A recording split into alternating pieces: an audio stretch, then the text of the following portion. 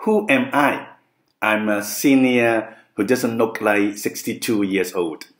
And I do not do things that seniors are expected to do, sitting around, watching TV, drinking beer, and uh, seeing the days uh, go by.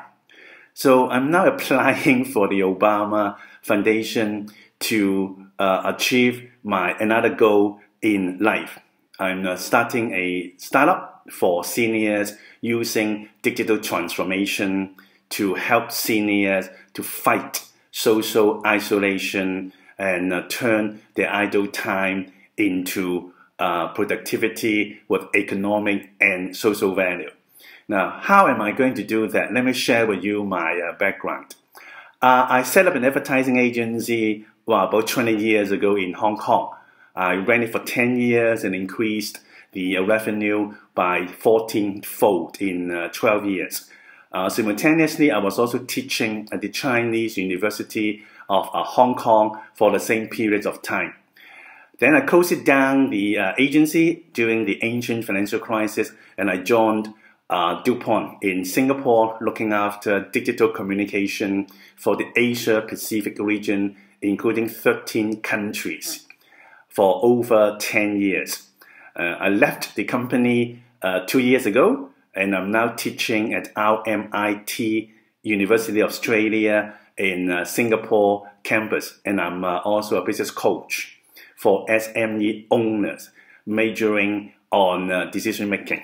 So, in a nutshell, I'm an entrepreneur, corporate executive, and a lecturer rolled into one.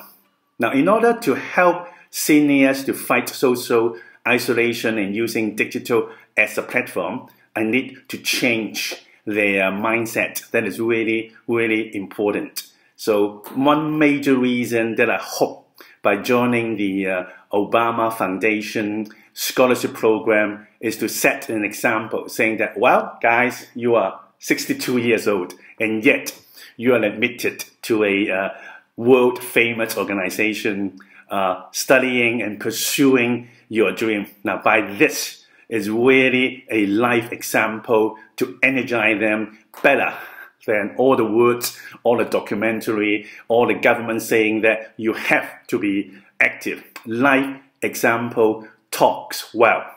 Now, another thing that I feel that the Obama uh, Foundation can help me out is I see that there is an aging, aging research center at Columbia University. So I'm uh, really helping uh, the senior. So attaching or have a chance to visiting the aging center associated with the Columbia University helps.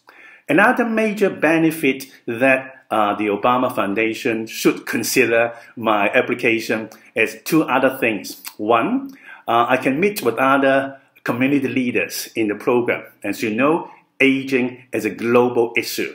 So I will start it in Singapore, but if I have the foundation and the network for over a year with uh, different countries in the world, then when I launch it globally, it will be a very good foundation for me.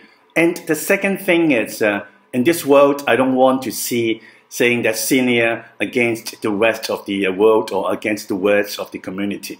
So through participating in the program, I hope we can do or set an example of cross generation interaction and learning together because I will be working with the other community leaders I believe are much younger uh, than I. So that would be also another example I learn from them. They probably can learn from me, a senior with maybe 10, 20 years of life experience uh, uh, ahead of them.